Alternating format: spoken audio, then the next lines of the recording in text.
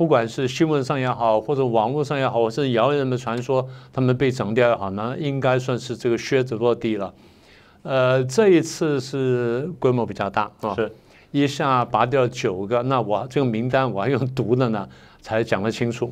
好，第一位呢是这个中央军委的这个联那个联合参谋部的副参谋长张振中，他是个中将。第二位、第三位呢是军委的那个装备发展部，两位都是副部长，一位叫张玉林是中将，一位叫饶饶文敏叫是少将。那再来是南部战区的副司令员啊，姓菊，叫菊新春，他是中将。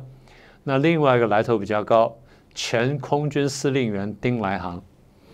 我还记得，就是丁来航被任命的时候，台湾报纸新闻呢还报过一段时间，是是是。哦，他有过实战经验什么等等，然后对台湾有一定的了解，或对东部有一定了解什么等等，还追了半年。那这次呢被拔掉了，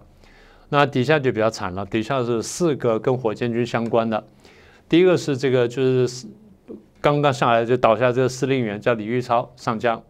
再来是这个副司令员李传广，那么再来是这个装备部长呢吕红，再来是前火箭军的司令员周亚宁是上将，所以这九个人呢，就这一次呢被拔掉人大代表资格的。